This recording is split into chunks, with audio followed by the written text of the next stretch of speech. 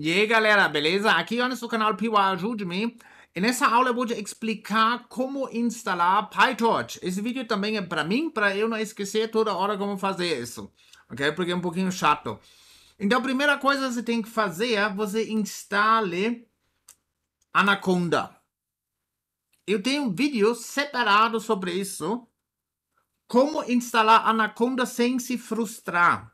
Então, é, também para Anaconda funcionar com pip e todas as outras coisas. Porque se você não instalar negócio direito, você realmente vai se frustrar. Ok, a primeira coisa que a gente vai fazer é, also, se você não tiver instalado Anaconda, então faz isso primeiro, também está escrito aqui, ok?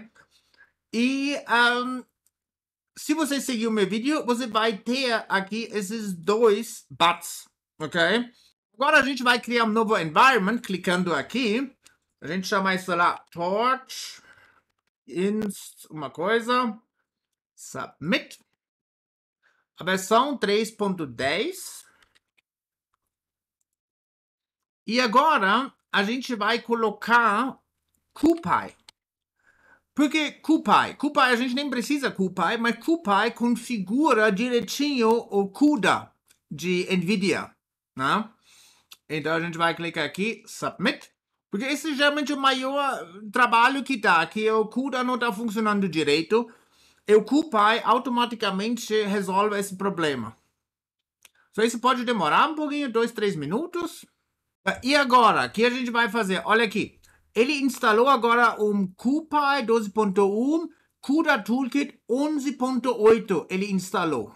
Né? Então, a gente vai aqui no site do PyTorch e a gente escolhe agora 11.8 Conda, é muito importante, Python, Windows no meu caso, certo? E a gente vai copiar esse negócio. Primeiro a gente precisa configurar intérprete aqui. Eu explico na outra aula como fazer, mas bem tranquilo aqui. Eu só clica aqui. Isso aqui. Clica Add. Conda. Pega aqui, isso aqui. Ok. Depois a gente entra no terminal.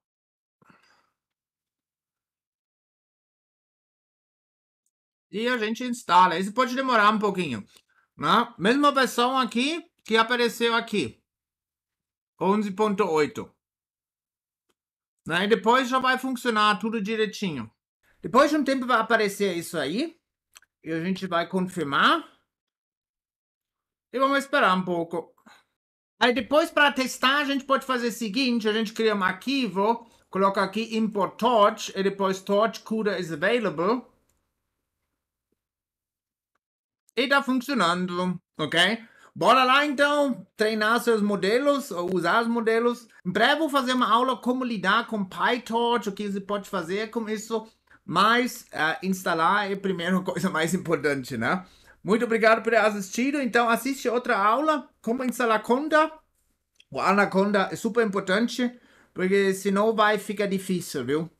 Aí eu demorei um tempão para descobrir tudo isso.